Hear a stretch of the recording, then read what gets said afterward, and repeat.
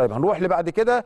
فريق سيدات النادي الأهلي كان عنده مباراة مهمة جدا مع الاتحاد السكندري في اسكندرية وأدوا مباراة رائعة كانت في الشاطبي صاله اقيمت في صالة الشاطبي صاله نادي الاتحاد السكندري.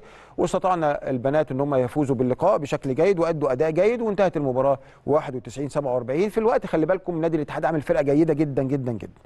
واقيمت المباراة طبعا يعني في جو طبعا يسود الود لأن طبعا جماهير أو أنا آسف لاعبات النادي الأهلي قدموا لوحة كبيرة بصورة إسلام المشجع نادي الاتحاد المصاب اللي كان فيه طبعا مستهل أخبارنا كان فيه زيارة للكابتن محمود الخطيب. يعني قصدي أقول لكم إنه المباراة خلصت 88 74 آسف 88 74 الاتحاد زي ما قلت لكم الاتحاد عامل فرقة جيدة. الاتحاد عامل فرقة جيدة جدا وحاج محمد مصلحي يبدو أنه سيكون له رأي آخر إنه بناء فريق قوي للسيدات أسوة بالرجال.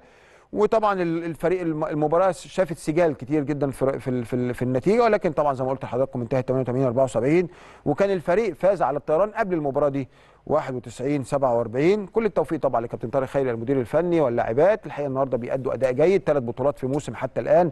يتبقى لينا مباراه بطولتين هي بطولة السوبر وبطولة كأس مصر. أتوقع إن شاء الله الفريق ده بالوضع ده بالحالة دي بس يا رب يا رب يحميهم من الإصابات. إن شاء الله خمس بطولات من خمس بطولات ويكونوا كرروا إنجاز الرجال العام الماضي وهم يستحقوا ذلك. اللاعبات الحقيقة يعني squad هايل في rotation كويس بيعملوا كابتن طارق خيري. البنات يعني في حالة فنية كويسة. نتمنى إن شاء الله التوفيق ويبقى التوفيق هو كلمة السر في مباريات كرة السلة.